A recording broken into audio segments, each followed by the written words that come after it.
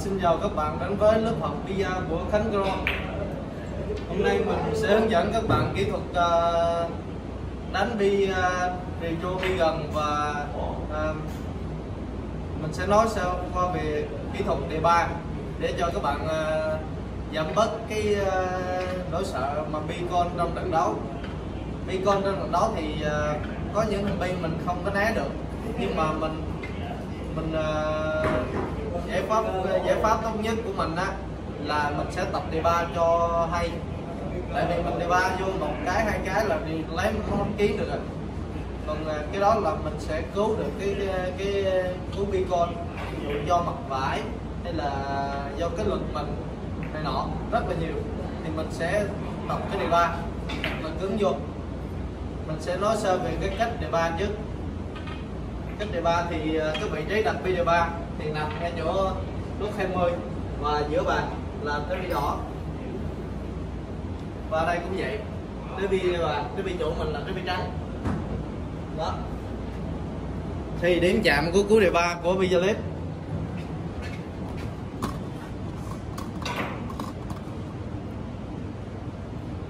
cú đề ba bi clip á, điểm chạm là nửa trái. Còn tùy vào cái FP mình sử dụng. Ví dụ như cái FP mà FP mình sử dụng. Cái bàn mới á, bàn mới ráp. Cái băng mới vậy mới. Thì càng mình càng sử dụng ít FP càng tốt.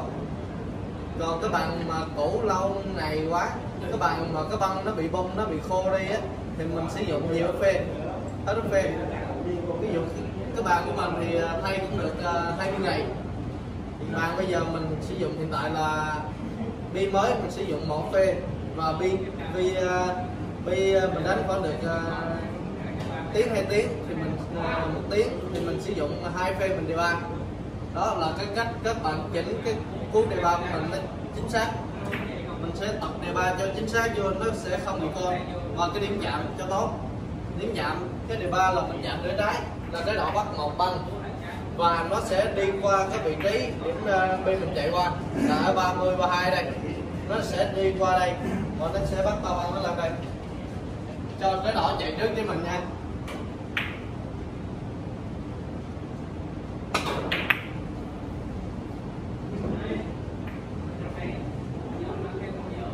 Đó cái cú đề ba như rồi á, là đã bị dư FP mình chạm là nửa trái đó, nhưng mà dư FP thì mình sẽ giảm cái FP lại.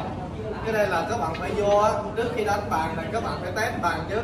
Các bạn phải thử cú đề ba cho kỹ vô để cho các bạn xử lý những hình bi nhỏ các bạn không còn sợ con nữa. Tại vì con bi á, thì các bạn lấy mất kiếm rất là dễ. Các bạn đề ba chuẩn vô là lấy mất kiếm trong vòng một hai điểm hai ba điểm là có thể lấy được một cú mất kiếm ở khu vực nhỏ rồi. Đi bỏ lại.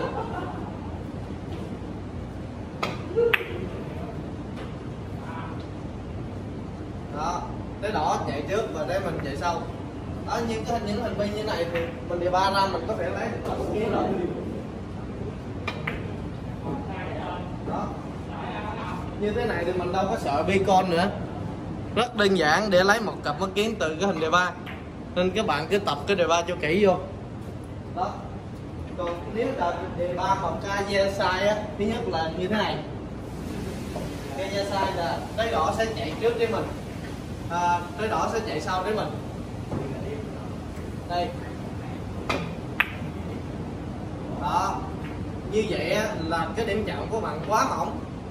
Điểm chạm của bạn quá mỏng, nó có thể gây cái bi mình nó bị đá nữa. Nhớ. hai đá chạm một lượt có thể bị đá. Dày thêm, mỏng thêm một tí nữa sẽ bị đá. Thứ hai là mình chạm quá dày. Quá dày thì cái bi đỏ nó sẽ chạy không à. Cái mình nó không có chạy. Như thế này đó như vậy là chạm đều ba sai. Nó sẽ đá hoặc là cái đỏ nó sẽ chạy mất đó là những cái điểm chạm và cái uh, cách điều chỉnh FP trong uh, video clip và những cú đề ba. Các bạn nên tập đề ba thiệt là nhiều vô để cho mình lấy xác suất đề ba mình. Cái, cái ờ, điểm chạm và cái phê chuẩn nhất và xác suất đúng cao nhất để mình lấy. Bây giờ cái đó là cách mà các bạn có thể giảm đi cái sự sợ hãi của các bạn bị con bàn bị con mình quýnh đề ba hụt là mình dở chứ đâu phải do các bạn đâu, đúng không? Đó. Thứ hai là mình sẽ hướng dẫn các bạn cái cách đánh mà retro vegan retro vegan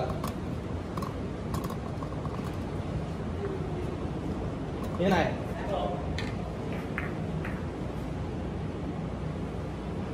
Vegan á, thứ nhất là nó có hai cái mà các bạn lưu ý.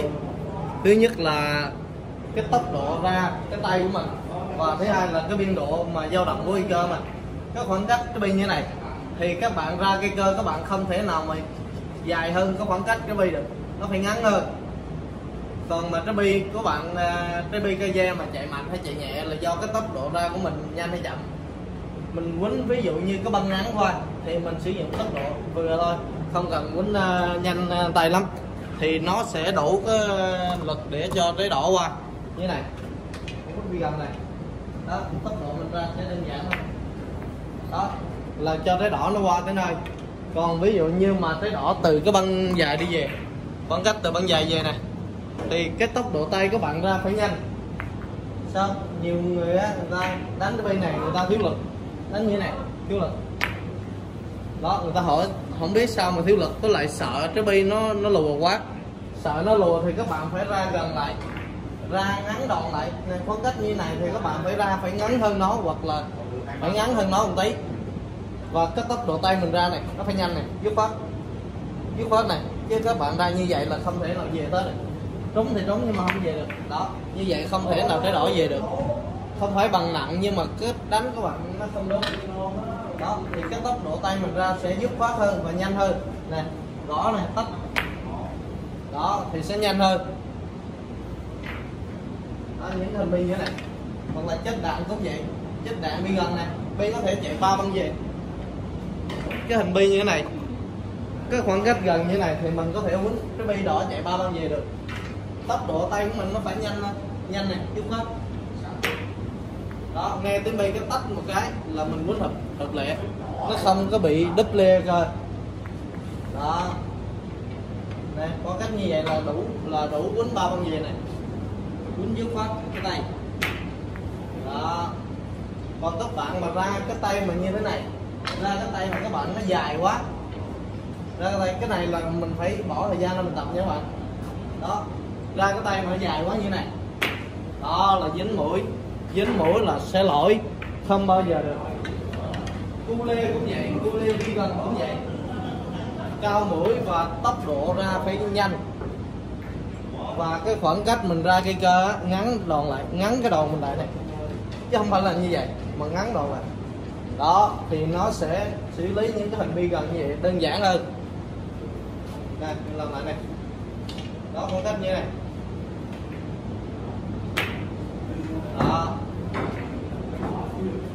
Những cái hình bi như này. Các bạn nên tập những cái hình bi uh, bi gần như này. Đó những hình bi này không cần phải bích kê về hình bi này. Tại sao các bạn không đôi về bích kê về á được. Nhưng cũng phải khéo. Cái bi này các bạn dư sức các bạn đi đôi về mà. Đó hợp lệ.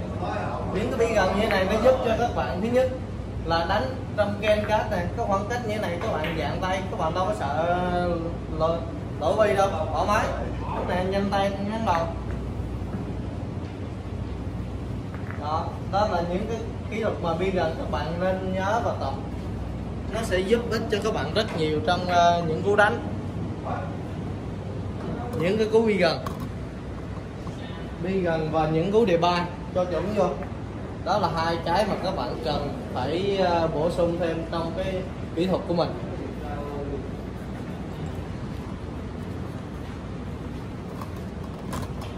Rồi kết thúc bài học hôm nay thì khánh cũng cảm ơn các bạn đã theo dõi kênh của mình. Và chúc các bạn luyện tập thành công. Và không còn sợ bi con nữa.